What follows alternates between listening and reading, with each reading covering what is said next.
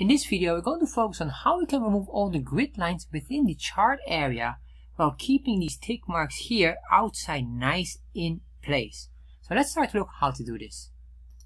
So let's start to look how to remove the grid lines inside the chart area while we're keeping the lines outside of the chart area like the ticks or the tick marks intact. So what we're going to do here first of all is we go to chartjs3.com getting started and this specific link you can find as well in the description box. So once you're on here, scroll down and copy this chunk of code. Copy this. If you want to understand what this code does, watch this video here.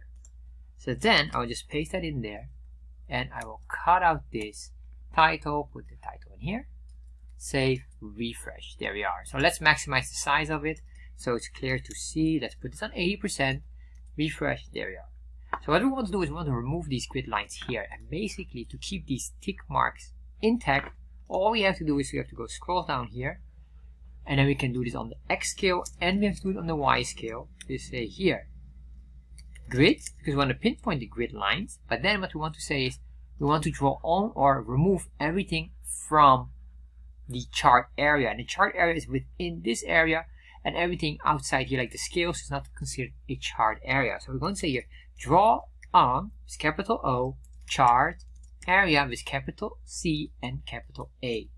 Set this on false, save, refresh, and as you can see here, once we did that, the grid lines on the X scale are being removed while the tick marks here are being shown. So then what we can do is we can copy this, comma, that save, refresh, and now we remove everything within the chart area except for the tick lines here, but that is outside the chart area. And that's how to do it. So if you enjoyed this video and maybe you want to create, for example, a horizontal scroll bar below here, in that case, I'm going to recommend you this video here on how to add a horizontal scroll bar effect in Chart.js, which will make a nice scroll effect on your chart.